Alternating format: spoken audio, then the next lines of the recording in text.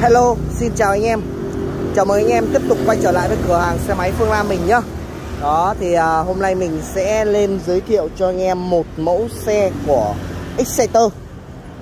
Bản này là bản 135 phân khối anh em nhá. Con này thì à, mình có úp áo 2010 cho anh em mình luôn rồi. Xuống áo 2010 Xe nói chung là len scan luôn nhá. Đây anh em này. Có vào thêm cho anh em một cặp liền này nhìn rất là đẹp luôn này. Đó vành bánh ốc tán, tán này áo 210 xuống áo cực kỳ đẹp luôn nhá. Máy móc tình trạng con xe này mình đang bao cho anh em là máy zin nha anh em. Đó để mình đi sơ một vòng dàn ngoài trước xong bắt đầu mình sẽ vào phần chi tiết nhá. Con này đăng ký về biển số Kiên Giang rồi 68 đó. 7 lút anh em nhá. 4337 chi tiết này. Đó vành bánh ốc tán này xe đang còn rất là đẹp lốp mới tinh luôn nha anh em. Đó. Phải nói là máy cực kỳ êm luôn nhá. Đó dàn chân đang còn rất là đẹp luôn này.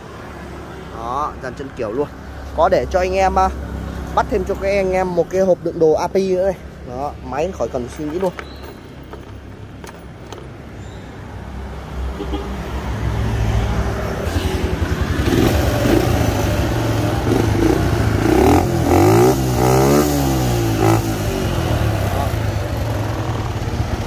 Máy lẩu cực kỳ chất nha anh em. Đó.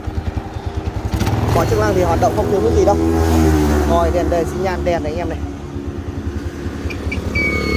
Xi nhan này. Mọi chức năng đều hoạt động tốt hết nha anh em nhá. Đó anh em nào mà có thiện chí với cái mẫu uh, ép xuống áo này thì anh em cứ để lại cho mình một cái bình luận nhá. Giá cực kỳ rẻ đấy anh em nhá. Giá cực kỳ mềm thôi. Đó. Chỉ còn mười mấy triệu thôi anh em là sở hữu nó rồi. Ok anh em nào ưng mẫu này thì cứ để lại bình luận nhá. Cảm ơn anh em rất là nhiều.